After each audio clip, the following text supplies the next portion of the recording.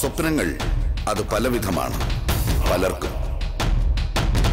ഇവരുടെ സ്വപ്നം ദീപ്തിയുടെ മോഹഭംഗമാകാം.